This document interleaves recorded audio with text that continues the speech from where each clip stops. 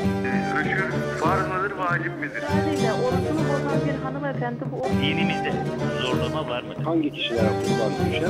İslami mezhebine göre evde nikahla gerekiyor muyum? Kadın değil nedir?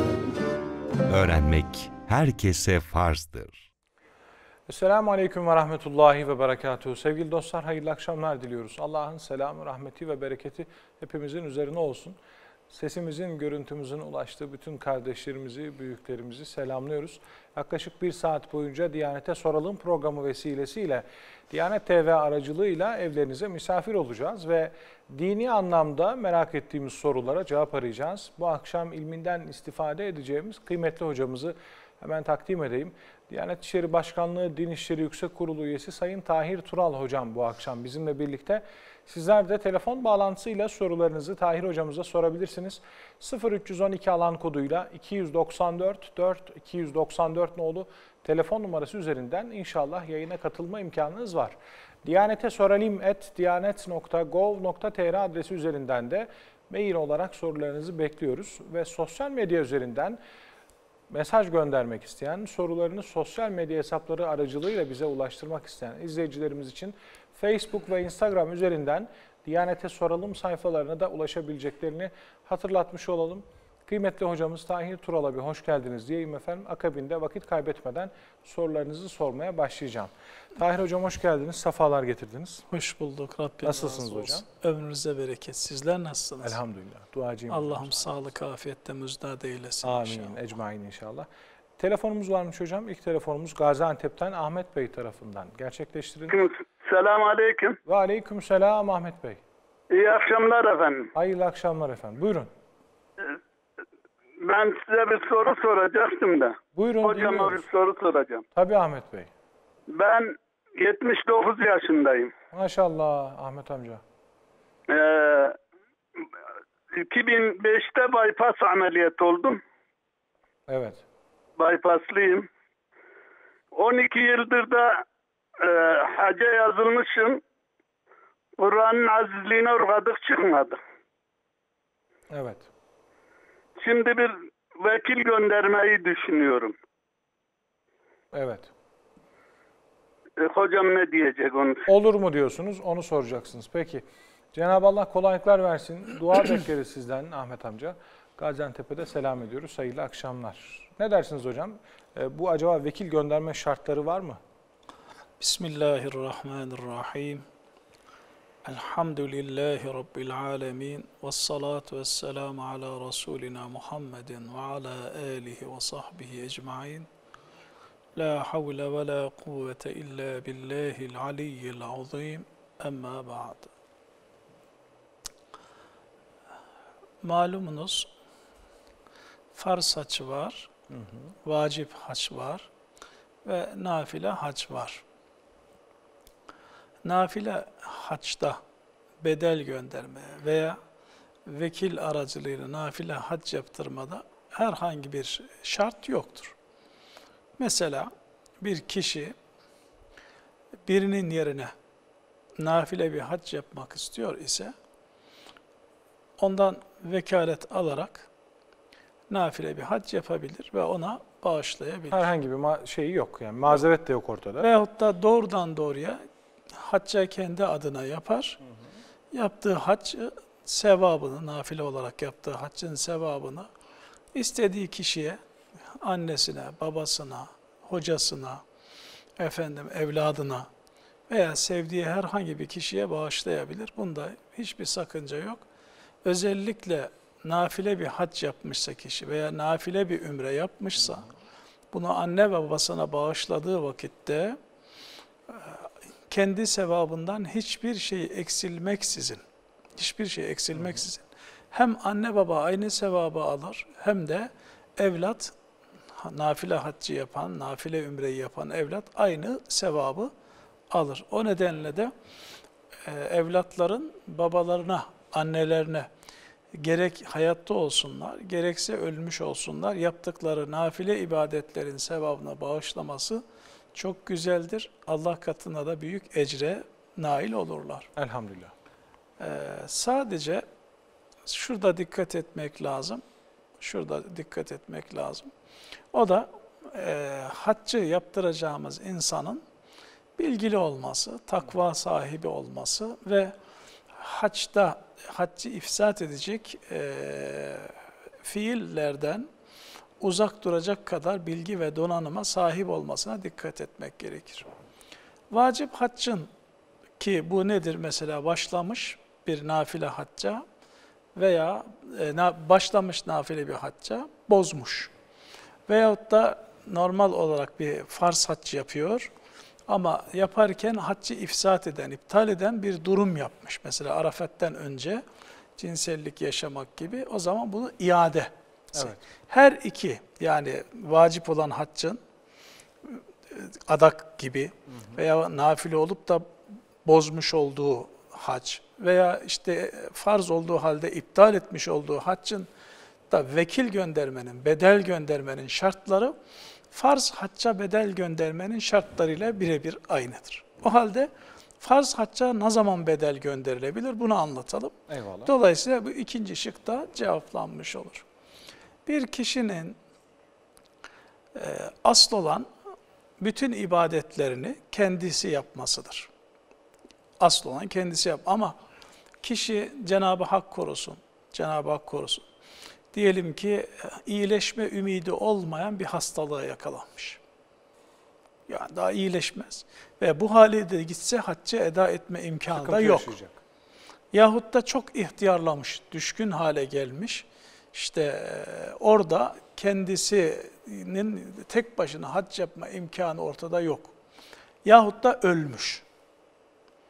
Gayri Evet. tamamıyla ölmüş ve vasiyet etmiş benim adıma hac yaptırın diye ve bunun içinde gerekli olan malı bırakmış. Demek ki farz haçta, farz haçta öncelikli şart neymiş? Bedel gönderebilmek için birinci şart kendisine haccın farz olması diyelim. Çünkü farz haçtan bahsediyoruz. Ama hac kendisine farz değilse bu burada bedel gönderme zorunluluğu var mı? Yok. Nafile. Nafilede bir şart yok. İkinci şartımızda demek ki ölmüş, vasiyet etmiş. Ve bunun içinde gerekli olan parayı bırakmış. Ya da sağ ama çok büyük bir hastalıktan dolayı veyahut da çok aşırı şekilde ihtiyar ve bünye olarak zayıf düştüğünden dolayı hayır ben gidip hac yapamam bu konuma gelmiş ise o zaman bunun adına ne yapılabilir? Vekil veya bedel gönderilebilir. Üçüncü şartımızda e, bedel olarak gönderilen kişinin bütün ücretlerini, bütün masraflarını adına bedel gönderen şahıs ödemesi gerekir. Adına bedel gönderen şahıs ödemesi gerekir. Ve bedel olarak giden şahıs da bundan şu kadar ücrete giderim diye bir şart koşmamalıdır. Çünkü bu bir ibadettir. İbadetler ücretle yapılmaz. Ya ibadetler de masraf alınır. Yol masrafları, konaklama Orada masrafları, masraflar. oradaki barınma, yeme, içme ve nakliye vesaire gibi masraflar alınır. Dolayısıyla diyelim ki oradaki masraflar, yoldan itibaren gidip gelinceye kadarki masraflar 60 bin liraysa gönderen şahıs da diyelim 80 bin lira size para vermiş. O zaman 20 bin lira arttığına göre getirip bu 20'yi vermeniz gerekir, iade etmeniz gerekir. Vermezsek hakkı mı? Hayır çünkü o zaman ücretle iş yapmış olursunuz. Harçlık verse mesela. Ha o bakın Olmuyor mu? şu şöyle siz getirdiniz işte ben buradan 60 bin lira harcadım 20 bin lira arttım. Şahıs da dedi ki Allah razı olsun beni farz görevinden kurtardın.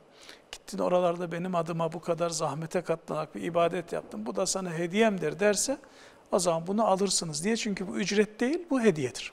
Eyvallah hocam. Bu hediyedir. Dolayısıyla demek ki e, hac yapacak olan bedel kişinin bütün masraflarını kim karşılayacak? Gönderen kişi karşılayacak. Bedel de Ekstra bir, bir ücret, ücret, almayacak. anlaşmasına girmeyecek. Artanı verecek ama iade ederse al bu sende Hediyemdir kalsın derse o o başka hediye bir şey. olur. Ayrıca e, bedel olan olarak giden şahıs mutlak surette mutlak surette Müslüman olmalı, akıllı olmalı ve ya mümeyyiz yahut da buluğun üstünde yani mümeyyiz dediğimiz 8 yaş ve üstü. Buluğ dememiz de yani buluğa ermiş. İşte 12 yaş diyelim ki ve Ve üstü. üstü olan insan olmalıdır. Peki onun Peki- da daha evvel kendi adına farz hacı yapmış olma şartı Hayır, var mı? farz haccı bizim Hanefi mezhebinde yok. Yani hiç hac yapmamış olan kişiyi de Gönderebilir. vekil gönderebilir. Erkekse erkeğin yerine hanımefendiyi, hanımefendi ise onun yerine efendim yine hanımefendi veyahut da bir erkeği göndermekte herhangi bir sakınca yoktur. Ayrıca e, bedel olarak giden şahıs, bedel olarak e, kendisini gönderen neyi emretmiş, hangi çeşit haccı emretmiş ise onun adına onun niyetine hac yapmalıdır. lazım. Ondan sonra birkaç şart daha var ama o hacla ilgili. Peki Ahmet bu Bey şartlara uygun olarak bedel gönderebilir. Şimdi Ahmet Bey 79 hac kendisine farz mı değil mi? Şimdi onu bilmiyoruz çünkü. Hac kendisine farzsa mutlak surette e, ben diyor yaşım ilerledi ve bypass'ta geçirdiği için orada hac yapma imkanım Çok yok diyor gayrı. Evet. O zaman demek ki birinci şart nedir veya ikinci şart diyelim yerine geliyor iki şartta. Hem hac farz hem de gitme imkanı olmasına rağmen gidip yapacak sağlık ve sıhhatte değil. O zaman gönderebilir. Ama hac farz değilse Zaten göndermesi zaten gerek. mesele yok. Göndermesi gerekmiyor. Ama gönderirse de herhangi bir sakınca var mıdır? Yoktur. Nafiledir Eyvallah. sonuçta. Adem Bey'in de bir sorusu var hocam. Ee, hac yapan kimsenin bütün günahlarının affedileceğine dair bir hadis-i şerif okuduk diyor. Bunun sıhhati acaba nedir? Bir de belki sahih olabilir ama kastedilen şey farklı bir şey mi? Annesinden doğduğu günkü gibi olur ifadesi. Ne doğru direkt anlamakta bir sakınca var mı demiş. Haçta günahların affedileceğine dair sahih hadisler olduğu gibi zayıf hadisler de var. Mesela o kardeşimizin bahsettiği hadis-i şerif şu. Peygamber sallallahu aleyhi ve sellem Efendimiz buyurdular ki Men hacca ve lem yerfus ve lem yefsuk raca'a ke yevmi veledethu ummu. Kim hac yapar? Haçta gerek dille gerekse efendim başka organlarla efendim çirkin ve kötü davranışlarda bulunmazsa ve velem yefsuk yani Allah'a karşı isyan sayılabilecek davranışlarda da bulunmaz. Demek ki isyan sayılan davranışlar veya f- e, kötü, söz, işler. e, işte cinsellik vesaire gibi haccı ifsat edecek bir durumda bulunmazsa raca'a keyevmi veledethu ummuh annesinden doğrulduğu gün gibi memleketine ne yapar? Günahsız olarak döner diyor. Bir başka hadiste mesela el huccac vel vel ummaru veftullah. Hacılar ve ümre yapan şahıslar Allah'ın eee, elçileridir. Allah'ın misafirleridir. İza da'avhu ecabehum. Dua ettiklerinde Allah dualarına icabet, İcabet eder ve ize estagferuhu gafara lehum. İstiğfar ettikleri vakitte de Allah onların günahlarını bağışlar.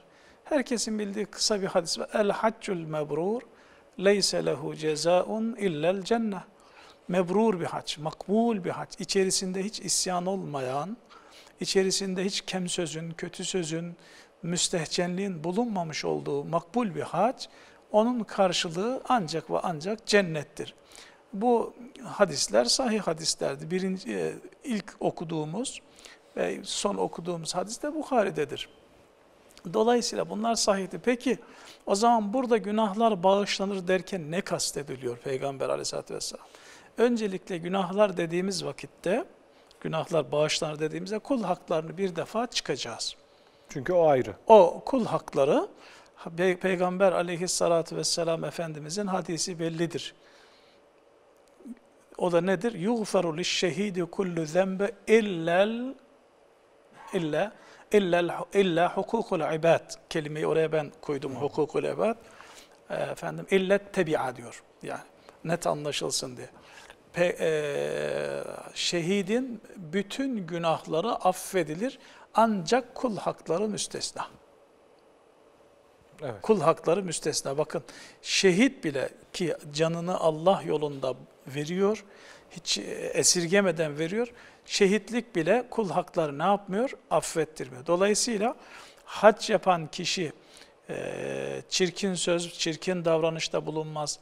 Günah da işlemeden bir hac yapmışsa anasından doğduğu gibi ülkesine geri döner, evine geri dönerden kasıt neymiş? Kul hakları dışındaki günahlardır. O zaman bu günahlar affedilir deyince o zaman Allah'a karşı, Allah haklarıyla ilgili olan günahlar ne yapılır? Affedilir diyor. Ancak günahlar da iki türlü. Birisi mücerret günahlar. Yani herhangi bir hakkın ihlali olmadan yapılmış olan günahlar. Mesela Mesela Cenab-ı Hak Celle ve Ala Hazretleri korusun. İşte birinin gıybetini yapmışsınız. Allah korusun. Allah korusun. Efendim e, birinin işte diyelim ki aleyhinde konuşmuşsunuz vesaire gibi böyle herhangi bir hak yok. Bu, bu, bu tür Kendi, günahlar. kendine etmişiz. Yani Ama kendimize etmişiz. bir de hak ihlal edilerek veyahut da halk terk edilerek yapılmış olan günahlar var. Mesela ne gibi? Namaz gibi, oruç gibi, zekat gibi, Evet. zekat gibi. O zaman ne yapacağız? Bu namaz kılmama günahı affedilir. Bak, hak ihlali var. Burada bir görev ihlali var. Demek ki bir namaz kılmadığında kişi hacca gidip haccı da makbul olursa namaz kılmama günahı affet. Peki namaz günahı durur mu terk? Namazı kaza Borcu etmediği öde- müddetçe lazım. o borç düşmez. Demek ki o zaman o borcu ne yapacak? Kaza ile yerine getirecek. Oruç tutmamış. Tutmama günahı affedilir. Cenab-ı Hak sen bu emrine muhalefet ettin. Benden de gelip hacda tövbe istiğfar ettin. Onu Af affettim. diledin. Ben onu affettim. Peki oruç duruyor mu? Evet oruç duruyor. O kaza edilecek. Biz bunu da mesela namaz kılınmayan namazlar, tutulmayan oruçlar bunların hepsi silindi olarak algılıyoruz. Hayır, hayır, hayır. Nasıl ki kul hakları silinmiyor, mutlaka ödemen gerekiyor. Ondan sonra bir de helallaşman gerekiyor. İşte bakın kul haklarında helallaşma yapmasan bile hac affettirir ama hak duruyor işte. O hakkı götürüp sahibine vermen gerekir. O hakkı götürüp sahibine vermek. Burada hakkın sahibi kim namazın? Allah. O zaman Allah'a karşı bunu ne yapacaksın? Bu hakkı yerine getireceksin, kaza edeceksin. Orucun sahibi kim? Allah. O zaman Allah Teala'ya karşı bu orucu ne yapacaksın? Kaza edeceksin. Kaza edemiyor isen fidyesini vereceksin. E zekat, zekat Cenab-ı Hak Celle ve Ala Hazretleri'nin bir hakkı. Vermeme günahın düşer ama zekat günahı hala sırtında. Onu ne yapacaksın? Çıkartıp ödeyeceksin. Bu gibi yani. Demek ki e, bir hak ihlal veya bir görevin terki şeklinde olan günahlarda o terk günahı affedilir ama onlar ne yapılacak? Kaza edilerek yerine getirilecek veya yapılarak yerine getirilecek. Yoksa mücerret olarak ben hacca gittim işte 60 yaşında, Her şeyden 50 kurtuldum. yaşında, 40 yaşında, 40'a kadar da hiç namaz kılmadım. E, Daha benim namaz kaza etmeme gerek yok. Diyelim ki 40'a kadar diyelim 5 sene 6 senelik bir orucum var hiç o kaza etmemişim. Benim bütün günahlarım silindi oruç kazalarım da yok. E zekat vermemişim benim bütün günahlarım silindi zekat ödem. Hayır böyle bir şey yok. Eyvallah. Bu namazdır, oruçtur, zekattır bunlar yerine getirilecek ama bunları terk günahı haç tarafı yapıldığında affedilir. Ortadan kalkıyor. Peki teşekkür ederiz. Bir telefon bağlantımız var. Elif Hanım Bursa'dan telefon attığımızda. Elif Hanım hakkınızı helal edin. Biraz beklettik sizi. Ee, Estağfurullah hocam. Selamünaleyküm. Hayırlı Aleyküm akşamlar. Sağ olun. Hayırlı akşamlar. Ee, ya ne kadar mübarek bilgili hocalarımızsınız ya. Allah sizi cennette peygamberimize komşu etsin hep beraber. Amin. Amin. Her akşam sizi çok e, dinliyorum yani. O şey yaparak. Allah Ondan razı olsun. sonra ben şey soracaktım. Bir bayan e, eşiyle e, hacca e, gide farz olmadığı halde giderse e, yani bayana farz olmadığı halde eşine farsa Evet. sonra tekrar farz olduğunda e, tekrar hacca gitmesi gerekir mi gerekmez mi? Evet. Soralım Bir. Elif Hanım. İkincisi e, ben kurban adıyorum böyle hastalığım iyileşirse diye ben beyin tümöründen iki kere ameliyat oldum da hastalığım iyileşirse diye kurban adamıştım. Daha sonraki hastalıklarımda da adadım. Oğlan da diyor ikide bir adayıp durma kurbanların hayvanların canlarına yazık diyor. İyi çoktan ca- cana e, kıyılıyor diyor. Başka Soralım şey ada diyor. inşallah. Bunu da soralım Elif Hanım. Ee, Bursa'ya selam ediyoruz. Sizin için şifa dileriz Cenab-ı Allah'tan. Ee, ümit ederiz ki bir an evvel sıhhatinize kavuşursunuz. Bursa'mıza da selam olsun. Hayırlı akşamlar. Konuyla biraz olsun alakalı hocam. Yine bir hac sorusu. Ee, genelde benim de aslında siz konuşurken aklıma geldi bu. Mesela hani mal ayrılığı ilkesi var. Beyefendi zengin, eşi de ev hanımı. Onun herhangi bir zenginliği yok. Farz da değil. Daha sonra bir miras yoluyla zenginlik söz konusu oldu mesela. O istitaata da kavuştu. Tekrar e, nafile olarak yapmış olması e, o farzın da yerine geçiyor mu yoksa bir kere de farz olduktan sonra gitmeli mi? Şimdi bir şahıs Mekke'ye ulaştı ve haccını yaptı. Yapmış olduğu ilk hac, Haccetül İslam dediğimiz farz haccı yerine geçer. Şimdi Mekke'ye ulaşan kişi, diyelim ki bir memur olsun, devlet tarafından görevlendirilsin. Diyanet İşleri Başkanlığımızın da çalışan işte imamdır, işte vaizdir, müftüdür, Kur'an kursu görevlerinde olduğu gibi. Evet. Şahıs memur, Eee, kendisinde de hac farz olacak kadar bir mal birikimi yok. Öyle değil mi? 10 yıllık bir imam efendi düşünün. Daha yeni imamlığa başlamış. Birikim olarak hiçbir şeyi yok. Ama Diyanet İşleri Başkanlığı onu almış, hacca götürmüş görevli olarak. Veya hanımefendinin, kardeşimizin örneğinde olduğu gibi kocasına hac farzdı. Maddi imkanda yeri de olduğu için hanım seni de götüreyim gel dedi. Aldı onu da götürdü. Yengemizi de aldı yanında götürdü. Veya efendim bir işçi Suudi Arabistan'a Mekke'yi mükerremeye çalışmaya gitti. Henüz daha hac farz olacak kadar da bir birikim yapmadı diyelim ve bu insanlar ilk sene Cenab-ı Hakk'ın lütfuyla haçlarını yaptılar. İşte bu yaptıkları hac farz olan hac yerine geçer. Elhamdülillah. Dolayısıyla hanımefendi daha henüz hac kendisine farz değilken eşiyle yapmış olduğu hac farz hac yerine geçtiğinden dolayı daha sonraki yıllarda zenginlerse ister bu miras yoluyla olabilir, ister bu ticaret yoluyla O da olabilir, ister hibe yolu, ne yoluyla olursa olsun zenginliğe kavuştu. Hac farz olacak duruma geldi. Hayır. İkinci hac yapması farz değil. Niye? Çünkü birinci yapmış olduğu hac farz hac yerine geçmiştir. Bir memur düşünün, aynısı bir imam efendi. Hacca gitti ama hac daha kendisine farz değil, görevli gitmişti yaptı. Yaptıktan sonra önümüzdeki yıllarda ticari faaliyete atıldı veya miras geldi ve zengin oldu. İkinci kez hac yapması farz mı? Hayır farz değil. Niye? Çünkü farz Çünkü yerine ilk geldi. yaptığı hac farz haçtır. Burada bir tek çocuk müstesnadır. Eğer diyelim ki hanımefendinin küçük yaşta bir çocuğu vardı. Eşi zengindi. Hanımında da haccı gerektirecek, e, farz kılacak kadar bir para yok. E çocukta da yoktu. Ama beyefendi hem hanımını aldı hem de e, 9-10 yaşındaki çocuğunu aldı, hacca gitti. Hanımefendi daha sonra zengin olunca hac farz mı? Hayır farz değil. Niye? O buluğa ulaşmış çünkü. Ama çocuk daha sonraki yıllarda zengin olursa, Buluğa da yeni ulaştığı için. buluğa, buluğdan sonra zengin, o çocuk hac yapmak zorundadır. Çünkü o çocuğun yapmış olduğu hac, farz hac yerine kaim değildir. Niye? Henüz mükellef değildir. Eyvallah hocam. Peki. Şimdi Elif Hanım dedi ki ben bir takım rahatsızlıklar geçiriyorum ve sıhhatime kavuşmak için sık sık adak adıyorum. Birincisi adak adaması doğru bir şey mi? İkincisi evladı annesinin bu sık adak adaması mevzusundan dolayı yahu yazık bari hayvanların artık canı gitmesin de sen başka şeyler ada demiş. Ee, bu yaklaşım doğru mudur? Ama onun öncesinde dediğim gibi adak adamanın e, acaba İslam Durumu dininde ne? adak adanması hoş karşılanmaz.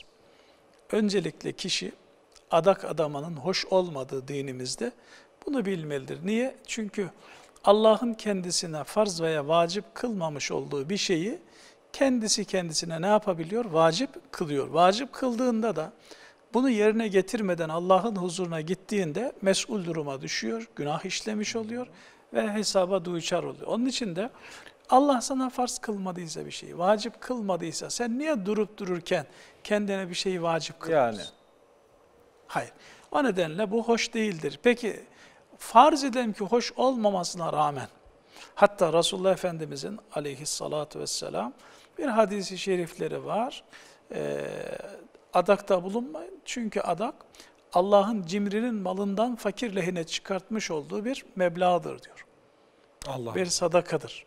Yani o nedenle adakta bulunmak hoş değil ama adakta bulunmak hoş olmamasına rağmen peki adak adarsa bunu yerine getirmek zorunda mıdır? Elbette zorundadır. Çünkü ayetlerle sabittir. Hadislerle de nedir? Sabittir. O nedenle kardeşimiz ilk imkan bulduğu vakitte adağını ne yapmalıdır? Yerine getirmelidir. Ama imkan bulamadıysa imkan buluncaya kadar geniş vakitlidir. Adaklar hemen yerine getirilmesi yani fevri dediğimiz hemen yerine getirilmesi gereken ibadetler değildir. Geniş zamanlıdır. Olduğu anda yapabilirsin. Dolayısıyla bu sene vardı, yaptın ne hala ne güzel. İlk vaktinde borcunu eda etmiş olursun. Bu sene müsait değildin. O zaman önümüzdeki yıl, önümüzdeki yıl böyle geniş Ta ki zamanlı ömrünün olarak sonuna kadar bu tabii süre ki devam adak ediyor. ne yapar? Yapılabilir, yerine getirebilir. Ömrünün sonunda da yapmamış ise o zaman bıraktığı maldan vasiyet eder der ki benim adağım var. Bu maldan adağımı yerine Getir. getirin. Ama hiç imkan bulamadı. Ve bu şekilde Allah Celle ve Ala Hazretlerinden tövbe istiğfar etsin. E, miras yok, mal yok, hiçbir şey yok. Allah onun mazeretini umulur ki kabul İnşallah. eder, kendisini de affeder. Sıhhat dileyelim tekraren. Ee, Bir telefonumuz daha var kıymetli hocam. Karaman'dan Bayram Bey. Hoş geldiniz efendim. Aa, Sağ ol hocam, hoş bulduk. Siz de sağ olun, var olun. Buyurun. Hocam hayırlı yayınlar. Allah razı olsun. Hocam ben diş yaptırmak istiyorum. Dişimin bir tanesi iki tanesi kırıldı. Fakat yayının birinde ben televizyonda Şafii ve Malik'in mezhebine göre abdest alacağınızı diye duydum. Bir de ben size sorayım dedim yani böyle Peki. Soralım Bayram Bey. Ee, Size de sıhhat diliyoruz. Karaman'a selam olsun. Hayırlı akşamlar. Diş dolgusu ve kaplama yaptırırken bir başka mezhebi taklit etmeye gerek var mı? Hayır, hiçbir gerek yoktur. Yani bazı kardeşlerimiz, Allah kendilerine iyilikler nasip etsin, ister kaplama, ister dolgu olsun, e, bunlar yapıldığı vakitte gusül abdesti geçerli değildir. Dolayısıyla Maliki mezhebini veya Şafii veya Hanbeli mezhebini taklit etmesi gerekir diyor. Buna hiçbir gerek yoktur. Neden? Çünkü ağız sağlığı diyelim biz genel olarak. Dişlerimizde nedir? Ağzımızın içerisindedir. Ağız sağlığı İslam'da çok önem verilen bir husustur. Peygamber aleyhissalatü vesselam Efendimiz ne buyuruyor? لَوْلَا اَنْ اَشُقَّ عَلَى اُمَّتِي لَاَمَرْتُهُمْ بِالسِّوَاكِ عَنْدَ كُلِّ صَلَاتٍ Ümmetime meşakkat verme endişem olmasaydı her namazda mısvak kullanmaları ne yapardım? Emrederdim. Yani bugünkü dış fırçalamayı. Tabii ki. Ya dolayısıyla diş temizliği çok önemli ve vücudun ilk karakoludur, ilk savunma yeridir. Eğer orası güzel muhkem edilmese, tahkim edilmez ise vücut ne yapar? Savunmada zor duruma düşer. Belki de Allah göstermesin hastalıklara ne yapabilir? Müptela olabilir. Onun Allah için korusun. gerek günümüzde yeni çıkan bu teknolojiyle gelmiş olan bir şey dolgu, gerek kaplama işte ister sabit olsun, ister e, çıkartılabilen protezler olsun, isterse implant olsun. Bunların hepsi caizdir ve gusle zerre kadar da engellikler yoktur. Şu kadar var ki eğer protezler sabitse zaten çıkartılması mümkün değil. Çıkartmaya da gerek yoktur. Ama çıkartılıp takılabilen cinsten ise protezler o vakitte gusül de çıkartılmalıdır. Normal abi. Ama normal abdestte çıkartmaya gerek yok. E, Ben Hanefi olarak, bende de kaplamalar var, köprüler var. E, Dolayısıyla hiçbir zamanda Maliki veya Şafi veya Hanbeli mezhebine niyet etmiyorum. Taklide niyet etmiyorum. Çünkü bizim mezhebimizde de sağlıktan dolayı yapılan e, müdahaleler, müdahaleler caizdir.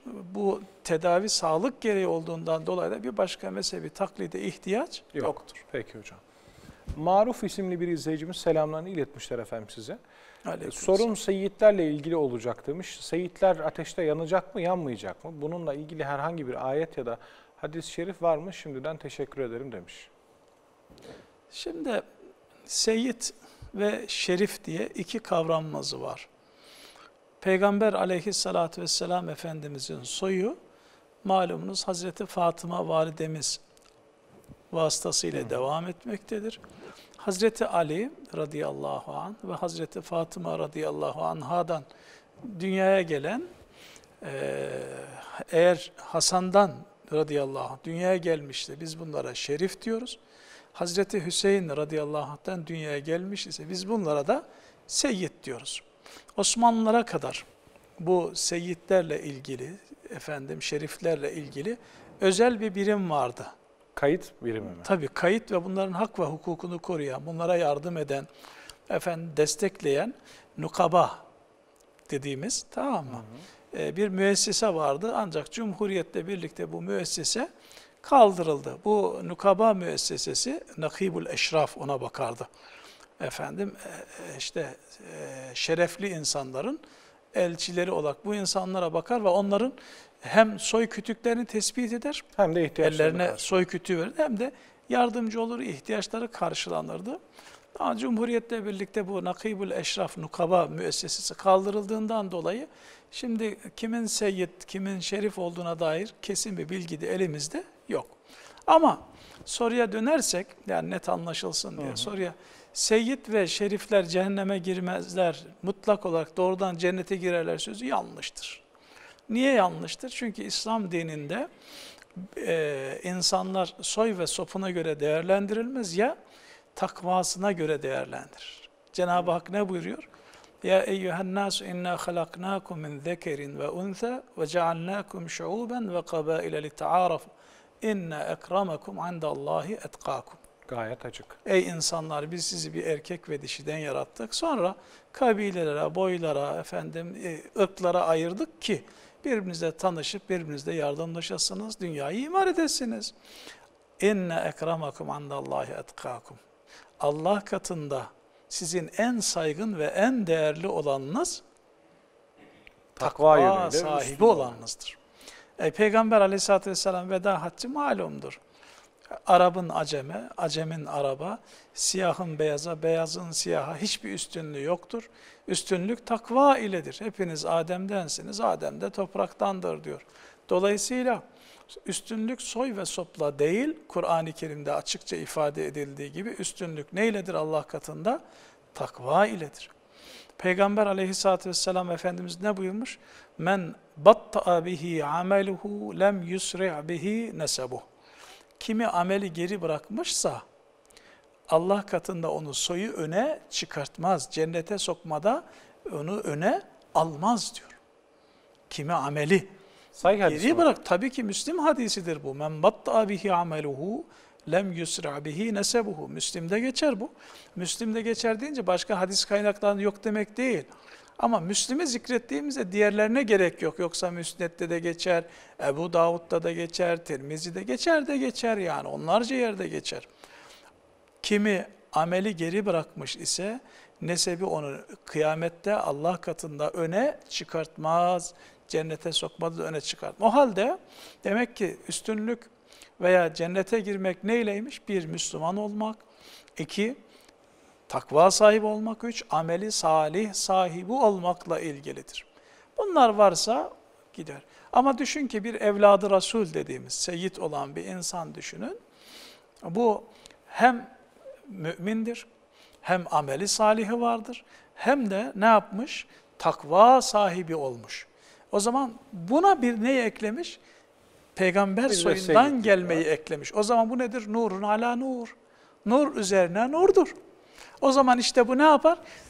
Diğer kardeşiyle beraber aynı vasıfları eşit olarak paylaştığı, bir de ona seyitlik ilave ettiği için o bir adım öne geçer. Ama eğer mümin değilse, ki olabilir değil mi? Nuh Aleyhisselam'ın evladı bile öyle değil mi? Müslüman Aynen. değildi. O zaman e, ne yapmaz Müslüman değilse bir seyyid ki böyle bir şey ben duymadım ama olabilir. Değil mi? Yani belki İhtimal- günahkar olabilir.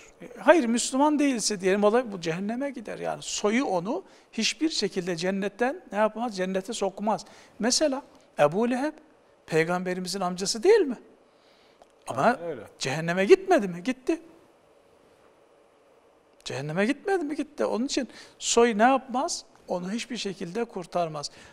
Efendim günahkar.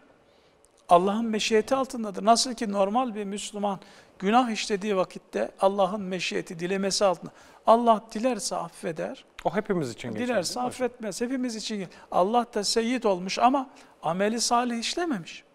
Takva sahibi değil, günahlara batmış olan birisini isterse affeder, isterse affetmez. Onun için seyitler doğrudan cennete girer. Seyitler günah işleme sözü doğru bir söz değil, yanlıştır. İslam'a da nedir? Aykırıdır. Peki hocam. Ama hem seyyid hem de mümin, takva sahibi, ameli sahibi sahibisi e bütün vasıfları toplayıp bir de artı vasıf ilave ettiği için o elbette ki öne ne yapar? Çıkar. Biz her halükarda şunu diyelim. Seyitleri severiz. Şerifleri severiz. Çünkü peygamberimizden bir parçadır. Elbette. Bir parçayı taşıyorlar. Hürmet ederiz, yardımcı oluruz. Ama öne geçme soy ve sopla değildir. Eyvallah. Bunu da biliriz. Peki, teşekkür ederiz. Bir telefon bağlantımız daha var. Mardin'e gidelim. Şükrü Bey telefon attığımızda. Hoş geldiniz Şükrü Bey. Selamünaleyküm, hayırlı akşamlar hocam. Ve aleyküm selam, hayırlı akşamlar. Hocama iki tane sorum olacaktı. Buyurun. Ya bir, bizim burada cuma namazından sonra öğlen namazı kılınıyor. Evet. Ee, öyle bir şey var mı yok mu? Bir. Bir de benim bir tane dükkanım var, kiraya vermek istiyorum. Zincir marketlere. Evet. Zincir marketlerde e, satılan içkilerde falan bir sorumlu muyuz değil miyiz? Onu öğrenmek istiyorum. Peki soralım. Allah kolaylıklar versin. Mardin'e selam ediyoruz. Bereketli akşamlarınız olsun. Muhtemelen Şafii mezhep Tabii ki. birisi. Mardin dediğine Mardin göre- dediğine göre. Evet. Öğle namazında cemaatle kılıyorlar. Bu kılınması gerekir mi dedi hocam? Şimdi İmam Şafii rahimehullah'ın iştihadında eee cuma namazı bir beldede bir yerde kılınır. Ancak o bir yer almamış, tamamıyla dolmuş, başka alca, alma imkanı yoksa o zaman ikinci bir yer caiz olur. Dolayısıyla birinci yerde boşluk var iken ikinci bir camide cuma ne yapılmaz? İmam Şafii rahimahullah'a göre eda edilmez. Hal böyle olunca da bir e, beldede, Mardin gibi bir belde düşünün. Onlarca cami var ve çoğusu da dolmuyor cuma günleri. O zaman kimin önce kıldığının bilinmesi gerekir. İlk cumaya kim başladı? Bunu tespit etme imkanı var mı? Yok. O zaman bunu tespit etme imkanı olmadığından dolayı Cuma'nın sahih olup olmaması Şafii mezhebinde ne yapıyor? Şüpheye düşüyor. İşte böyle bir durumda o günün vakit namazı nedir? Öğle namazıdır. Öğle namazında cemaatle ne yapıyorlar Şafiler? Eda ediyorlar. Onun için e, böyle bir cuma namazını kılındıktan sonra Şafilerin e, cemaatle öğle namazı kılmalarını biz Şafii mezhebine hürmeten, onlara hürmeten elbette ki Şafii olan bir kardeşimiz o bölgede özellikle kılınıyorsa kılmasını ne yaparız? Tavsiye ederiz. Çünkü o iştihattır. Siz de o iştihadı benimsemiş, ona tabi olmazsa, olmuşsanız o zaman o tabi olduğunuz iştihat ve inanç üzere hareket, Hareket etmeniz etmek uygun olur. Peki hocam. Ama burası mesela Ankara. Ankara'da genelde diyelim ki Hanefiler var. Bizim mezhebimizde de cuma birden fazla yerde çok rahat bir şekilde kılınması caizdir ve müftabih görüşümüz de bizim budur. Diyelim ki bir başka camide de Şafiler olsun orada da Ankara'da.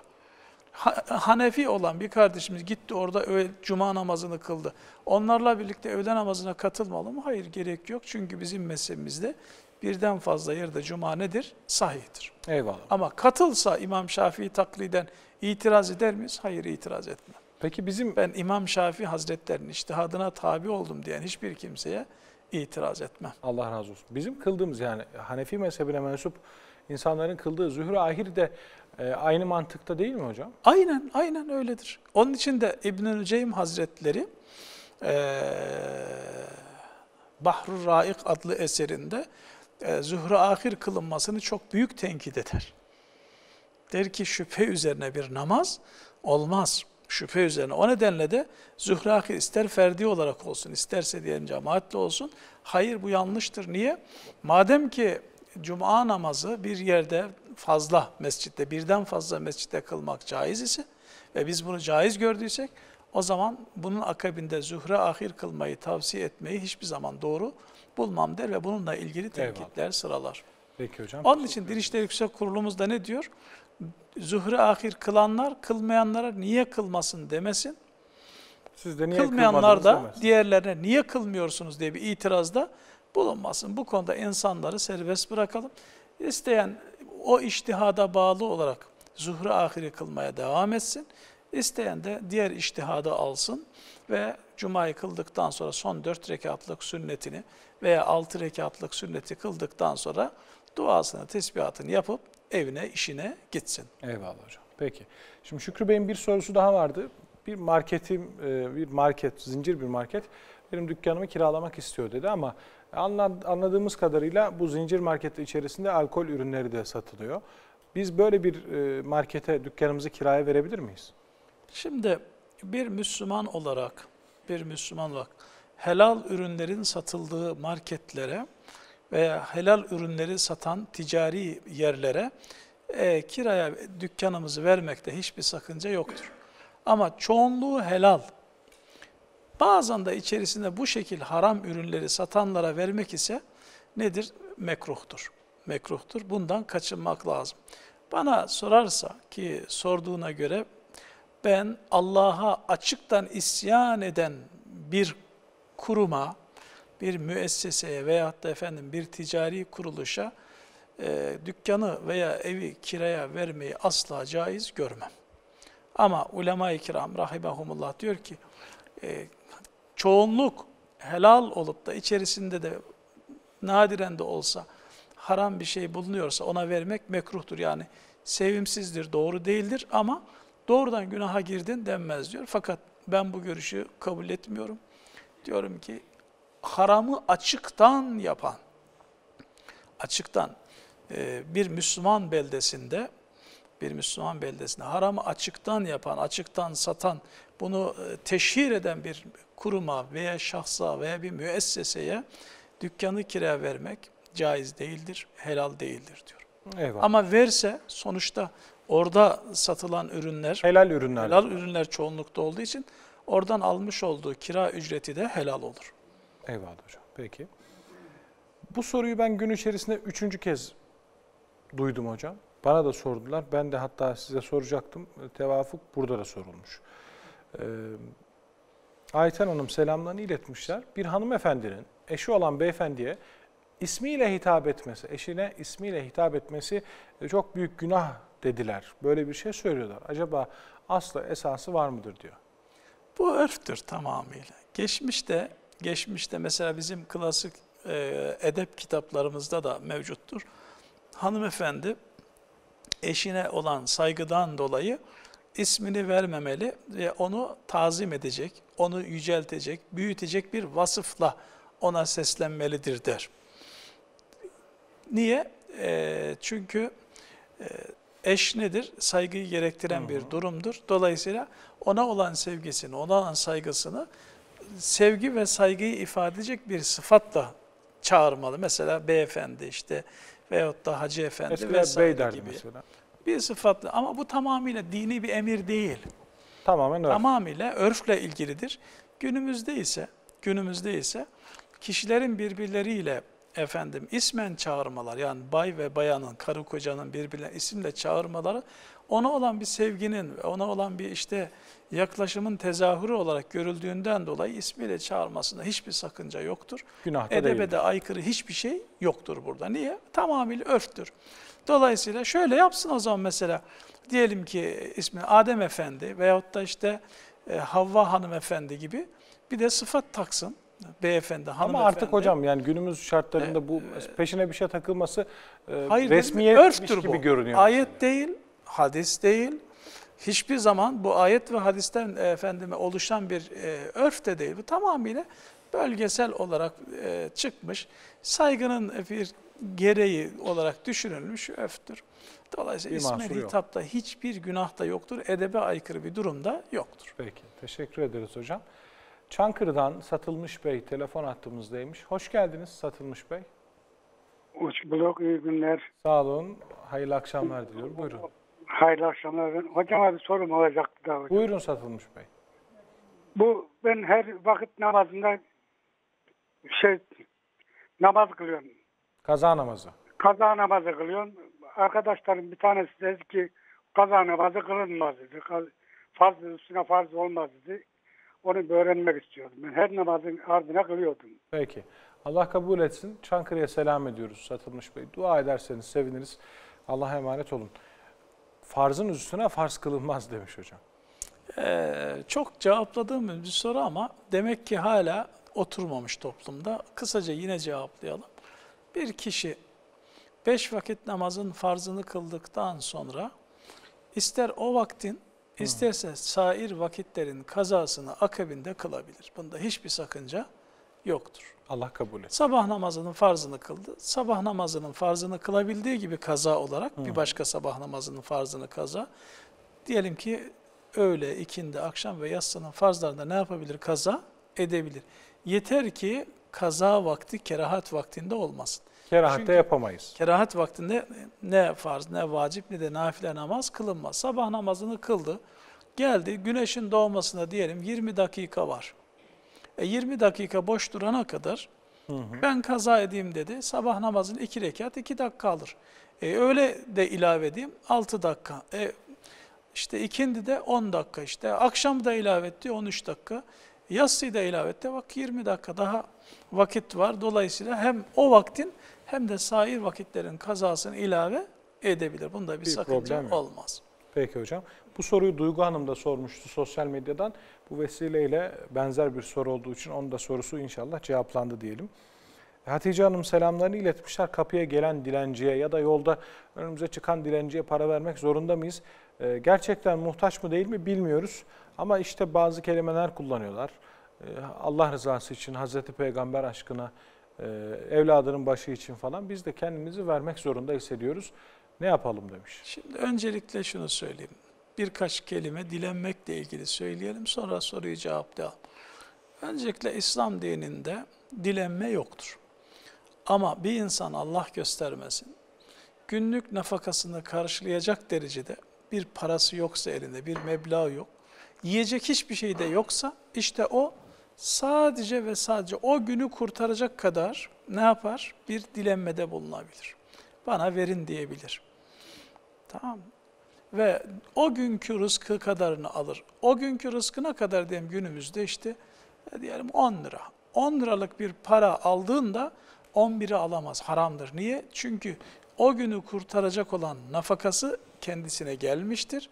Bundan sonra alamaz. Haram. Ondan sonra tabiri caizse iş arayacak, çalışıp Ondan çabalayacak. sonra iş arayacak. Tamam mı? Veya efendime söyleyeyim iş yapamayacak durumda ise devlet dediğimiz bir aygıt var. İslam'da devletin görevi budur. Sosyal devlettir bu. Gidecek kaymakamlığa, gidecek muhtarlığa. E ben mali gücüm yok.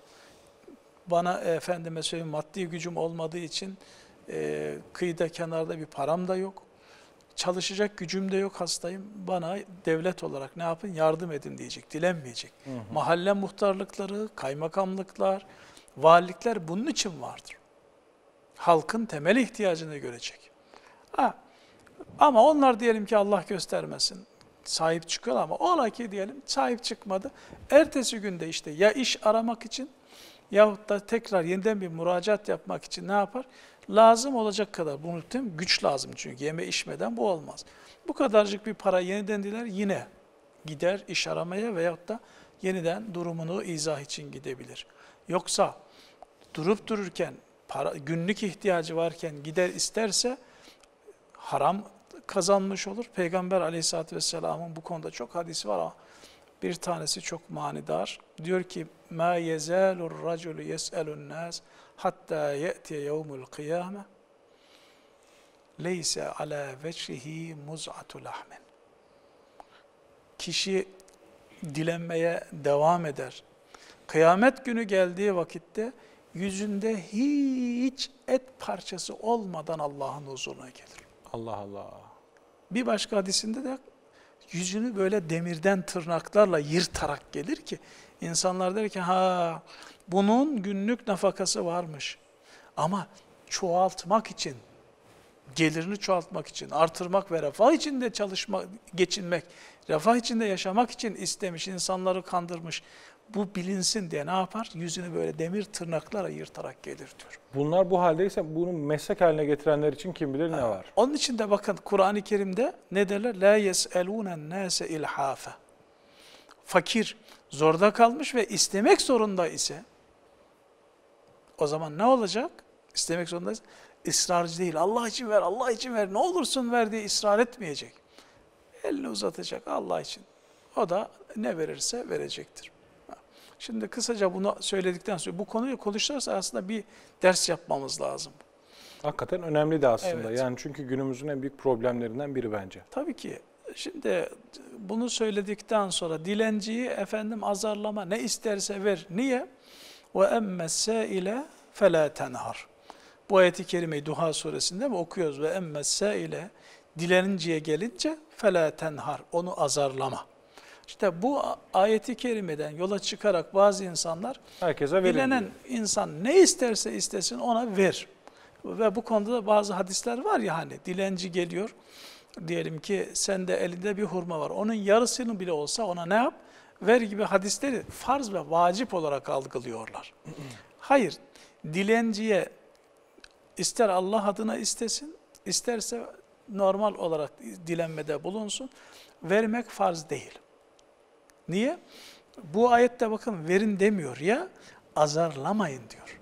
Nazikçe geri çevirin. Nazikçe Allah versin, uygun değilim, müsait değilim, kusura bakmayın veya sessiz kalırsınız. Dolayısıyla dilenen bir insana demek ki vermek zorunda ne değilmişiz? Değilmişiz. Niye? Çünkü bizim vazifemizde zekatımızı vermek, sadakamızı vermek, e, sadakayı fıtrımızı vermek vesaire mali görevlerimiz. Biz bu görevleri yaptıktan sonra dilenen insan e, bilmiyoruz hakikaten uygun mu değil mi? Dolayısıyla azarlamayız, onu aşağılamayız, ona kaba davranamayız. Bunlar yasaktır. Ha, kusura bakma veyahut da sessiz kalır geçer gidersin veyahut da kusura bakma verecek bir şeyim yok veya veremeyeceğim gibi sözlerle uygun ifadelere çevirebiliriz. Bunda herhangi bir sakınca yoktur. Yoksa bu ayeti kerime veyahut da dilenciyi boş çevirmeyin benzeri hadisler zorunlu değil, vermenin bir edep gereği, efendi bir e, insanlık gereği olduğunu ifade eden hadislerdir. Eyvallah hocam. Peki. Vaktimiz daralıyor. Birkaç soru daha sorarım diye tahmin ediyorum. Sude Hanım selamlarını iletmiş. İmam Efendi'ye uyduğumuzda Subhaneke duasını okumak zorunda mıyız diyor. Hayır, gerek ferdi olarak kılarken, gerekse imama uyarken Subhaneke duasını okumak nedir?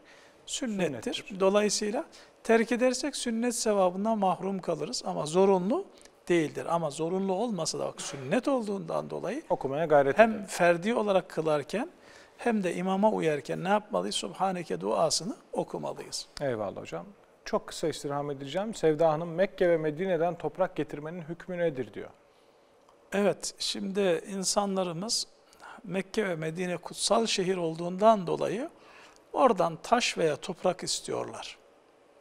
Çünkü ben de hac ve ümreye sık gittiğimizden dolayı veya orada okuduğumuz yıllarda akraba çevremizden orası kutsal belde, oradan ne olur biraz taş, bir avuç toprak getir de kabrime koyalım diye temennilerde hatta siparişlerde bulunurlardı. Ben de derdim ki belde mübarektir, toprak değil. Toprak Eyvallah. değil, belde mübarektir, toprak değil. Dolayısıyla oradan toprak getirmenin sana hiçbir faydası olmaz. Ama hüküm olarak bizim Hanefilerde caizdir. Hanefilerde caizdir. Ee, getirilmesi çünkü bir topraktır. Bir toprağı ister buradan al, bir yere naklet, isterse oradan al, bir başka yere naklet. Toprağın naklinde bir sıkıntı yoktur. Şafiler ise genel olarak görüşleri mekruhtur. Ama bir kısım şafiler ise haram diyor. Hanbelilerde ise haramdır. Onlar diyorlar ki bu toprağı buradan ne yapıyorlar? Teberrük amacıyla alıp götürüyorlar. Bu hoş bir şey değil. Niye? Çünkü harem-i şerifin her şeyle haremdir. Her şeyle haram olduğundan da oranın toprağı orada kalmalıdır. Buradan alıp götürülürse, her hacı birer avuç toprak götürürse o beldede ne yapmaz? Toprak kalmaz diyor. Onun için ihtilaflı onlarda. Bir kısmı mekruh diyor, bir kısmı haram ama Hanbeliler ise bunu haram kabul ediyorlar. Dolayısıyla e, hiçbir şekilde Harem-i Şerif'ten veyahut da Medine-i Münevvere'den taş toprağı bizim ülkemize nakletmemeli, getirmemeli. Eyvallah. Bundan Hocam- uzak durmalıyız. 2019 yılında hamdolsun hac nasip olmuştu.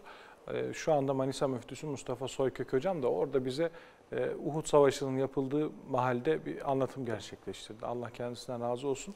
Ve şöyle dedi, normalde bu Okçular Tepesi daha yüksekmiş dedi ama zamanla e, biraz da artık o toprak getirmelerin sebebiyle falan biraz daha böyle yayıldığını da söylerler dedi. Mesela siz talebelik yıllarındaki haliyle bu son yıllarda gittiğiniz arasında bir fark gördünüz mü hiç? Yok çünkü tamamıyla taştır orası. Taşlaşmış durumda. O nedenle bir- e, hiçbir farklılık yok. Hmm. Ama dediğim gibi yani e, mukaddes olan nedir? Beldedir. Yoksa taş ve Taş toprak toprağın belde önemi yok. önemi yoktur. O nedenle kişi hani Resulullah Efendimiz'e geliyor bir e, bedevi ki Hazreti Enes'ten gelir bu hadis. Hazreti Enes der ki baştan alalım o zaman. Ya e, biz diyor Resulullah Efendimiz'e soru sormayı çok hoş görmezdik. Ve beklerdik ki bir bedevi gelsin, badiyeden biri gelsin. Resulullah'a bir şeyler sorsun, biz de o sayede öğrenelim diyor. Tam böyle düşünürken diyor, bir bedevi geldi dedi ki, Ya Resulullah kıyamet ne zaman kopacaktır? Aleyhisselatü Vesselam da cevap vermeden kamet başladı diyor. Geçti, namazı kıldırdı. Namazdan sonra kıyametin ne zaman kopacağını soran nerede dedi. O bedevi kalktı dedi ki, buradayım ya Resulullah, benim dedi. Ne hazırladın dedi. Bakın, Kıyametin kopmasını öğrendiğinde Ne sana ne var? geçecek? Elinde ne olur? Onun için Aleyhisselatü Vesselam ne hazırladın diyor. Bedevi diyor ki ya Resulallah benim ne çok namazım var, ne çok orucum var diyor. Benim böyle fazla bir hazırlığım yok ama bir şeyim var diyor. Allah'ı ve Resulünü çok seviyorum diyor. Eyvallah. Biz de öyle O olduk. zaman Peygamberimiz aleyhissalatü vesselam diyor ki el mar'u ma'men ahabbe yevmel kıyame. Kıyamet günü kişi sevdikleriyle beraber. O halde biz beldeyi ve o beldenin sakini olan peygamberimizi, ashab-ı kiramı, alimlerini, takva sahiplerini sevelim. Yoksa toprağa taşını getirmek bize hiçbir fayda Sağ sağlamaz. Hocam çok teşekkür ederiz. İnşallah yarın devam edeceğiz. Bugünkü İnşallah. cevaplarınız için hasreten teşekkür ediyorum. Evet muhterem dostlar bugünlük biz ayrılan sürenin sonuna geldik. Efendimiz sallallahu aleyhi ve sellem buyurdular ki güzel ahlak berekettir. Kötü ahlak kötülüğün habercisidir. İyilik ömrün bereketlenmesi demektir. Sadaka vermekse kötü ölümü engeller. Cenab-ı Allah bizi e, salihlerden eylesin ve iyi bir iş üzereyken, e, Rabbimizin rızası üzereyken e, canımızı kabzetsin Azrail aleyhisselam. Tekrar görüşünceye dek hoşça kalın. Allah'a emanet olun.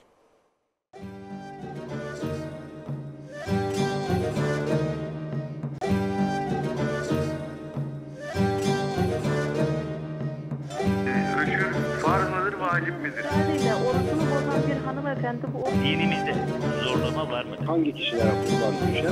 Şafii mezhebine göre evde nikahla gerekiyor muyum? Kadın değil nedir? Öğrenmek herkese farzdır.